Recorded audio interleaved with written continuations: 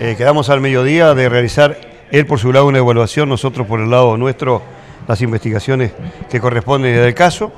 Vamos a estar en contacto dentro de instantes precisamente con, la, con medio ambiente nuestro, este, con nuestra sesión de medio ambiente de la Intendencia. Y, y creo que esto es algo que puede afectarnos a nosotros.